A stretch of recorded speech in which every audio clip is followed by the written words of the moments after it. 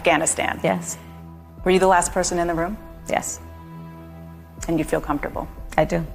As time has gone on, that decision has proved to be utterly disastrous, devastating, and tragic. In fact, her ascension to the head of this ticket coincided with the anniversary of the withdrawal from Afghanistan. And yet, there's barely a peep, barely a peep in the media about how Kamala Harris described herself as playing a key role in that decision.